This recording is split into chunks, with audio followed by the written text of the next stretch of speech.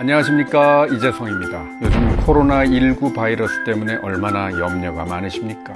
개인 위생 관리, 즉 손 씻기, 마스크 하기, 사람 많은 곳 피하기 이런 얘기는 많이 들으셨죠? 이것은 바이러스를 피하는 방법입니다. 중요합니다. 말할 것도 없이. 근데 우리는 버스, 지하철 타야 하고요. 장도 봐야 하고 또 사람 모이는 행사에 갈 수밖에 없습니다. 남이 만졌던 손잡이를 만질 수밖에 없죠. 그럼 어떻게 해요? 피하는 것이 가장 중요하지만 피하지 못했을 때는 이기는 힘, 즉 면역력이 관건입니다. 바이러스는 세균과 달리 혼자 힘으로는 살 수 없는 존재입니다. 세균은 음식에 붙어서 살 수 있지만 바이러스는 살아있는 생명체 안으로 들어가야만 활동할 수 있습니다. 이놈들이 다른 생명체 안으로 들어오는 이유는 그 속에서 자신의 코드를 복제하고 증식하기 위해서입니다. 수적, 양적 증가. 놈들이 그렇게 숫자를 막 늘리고 난 뒤에 그 다음 목표는요, 다른 데로 또 퍼져나가는 겁니다. 전파와 확산. 나가는 방법은 크게 두 가지입니다. 기침 재채기를 일으키거나 설사를 일으키거나 코로나19 바이러스는 기침이 바로 그 전파 전략입니다. 호흡기로 들어가죠.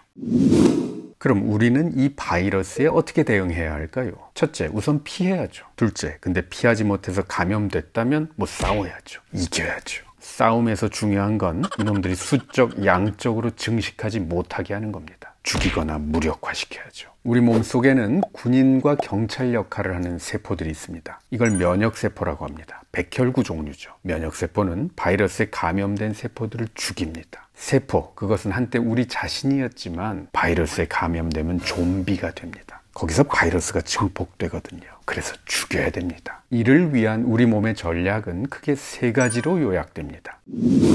첫 번째 작전, 염증 반응. 세포가 바이러스에 감염되면 각종 면역 세포들이 확 모여들어서 좀비 세포에게 화학 물질을 분사하면서 녹여버리고 태워버립니다. 그래서 붓고 빨개지고 열이 나죠. 이게 바로 염증 반응입니다. 불화자 두 개가 붙은 것이 불꽃염, 화염이 생기죠. 전쟁은 불가피합니다. 그런데 이 과정에서 주변에 있던 멀쩡한 세포들이 같이 죽기도 합니다. 그래서 힘들어요. 전쟁은 힘들어요.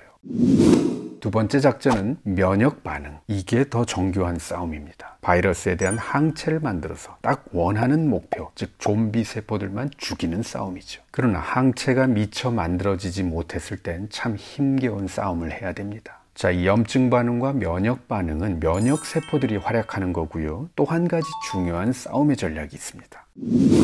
세 번째 작전, 그것은 바로 발열 반응입니다. 열을 발생시키는 거죠. 바이러스에 감염됐을 때 열이 나는 것은 일종의 방어 반응입니다. 사람의 평상시 체온은 36도 내지 37도인데요. 바이러스가 들어오면 전시 상황이 되고 싸움이 시작됩니다. 이때 우리 몸은 체온을 한 3, 4도 올립니다. 체온이 올라가면 면역 세포들이 활약을 더 잘할 수 있게 되고요. 반면에 바이러스의 증식은 둔화됩니다. 물론 열이 나면 축 늘어지고 힘듭니다. 하지만 열이 나야 바이러스도 힘든 겁니다. 이 바이러스의 증식이 억제돼야 이 싸움이 빨리 끝납니다. 안 그러면 질질 끌어요.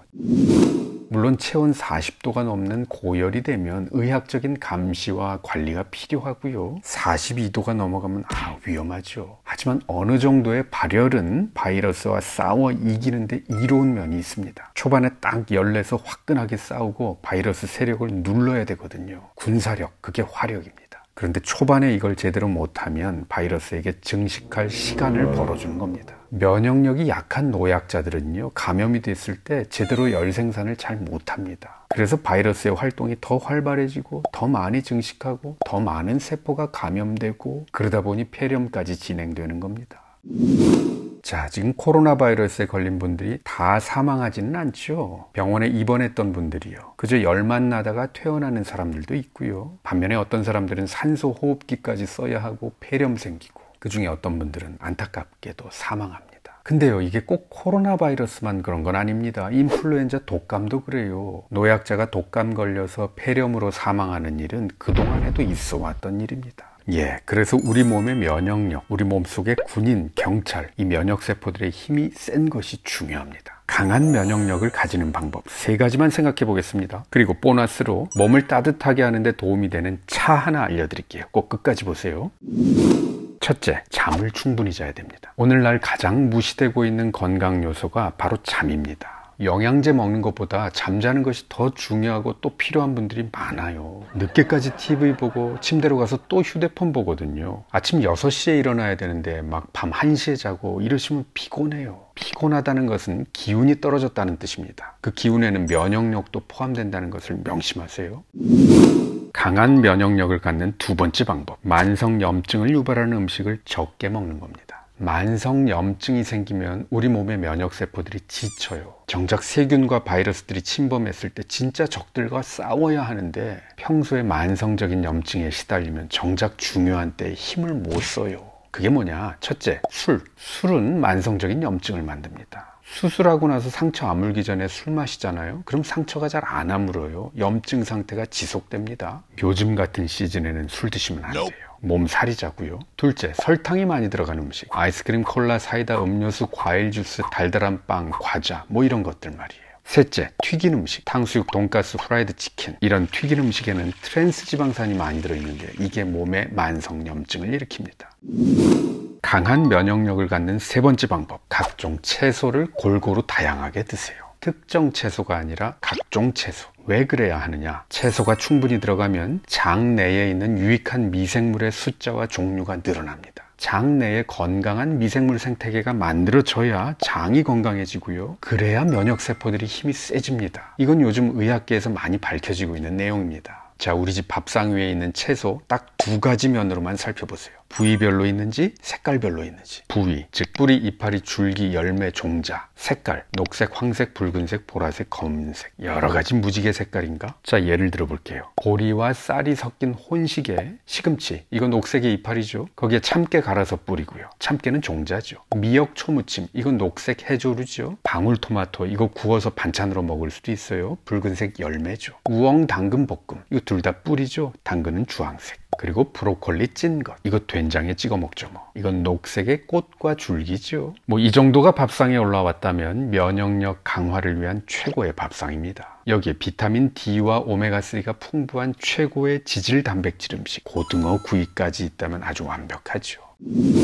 자, 여기까지만 말씀드리면 너무 싱거워하실 것 같아서 특별한 거 한 가지 더 알려드릴게요. 저는 여러분께 생강차를 추천합니다. 생강은 몸을 따뜻하게 만들어주는 대표적인 음식이자 약재입니다. 몸속에 보일러를 넣어주는 것 같아요. 물론 생강이 바이러스를 직접 죽이는 건 아닙니다. 생강이 몸을 따뜻하게 해주니까 면역력이 상승될 수 있어요. 몸이 따뜻하면 바이러스를 더 빨리 물리칠 수 있습니다. 자, 설탕에 절여놓은 생강차 제품보다는요, 그냥 생강으로 해보세요. 생강 껍질은 숟가락으로 박박 긁어서 까고요. 그리고 칼로 얇게 썰어서 주전자에다 두세 쪽 넣고 보글보글 끓여 드시면 됩니다. 자, 종이컵 3잔 정도면 물이 대략 5, 600ml 정도 되는데요. 거기에다가 생강 한 10g 정도를 넣어주면 적당합니다. 너무 칼칼하다 싶으면 물을 좀 더 부어서 연하게 끓이면 되죠. 이 생강차를 꾸준히 드셔보세요. 식사하시고 나서 생강차 한 잔 아주 좋습니다.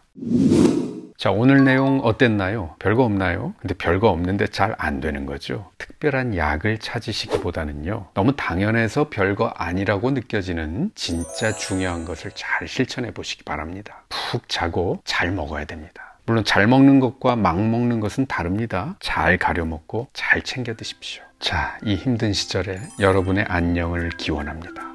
우리가 식탁에서 흔히 만나는 음식들 알고 먹으면 더 감사해지고 더 건강해집니다. 소식 놓치지 않으려면 구독하기 버튼 꾹 눌러주세요. 지금까지 한의학 박사 이재성이었습니다.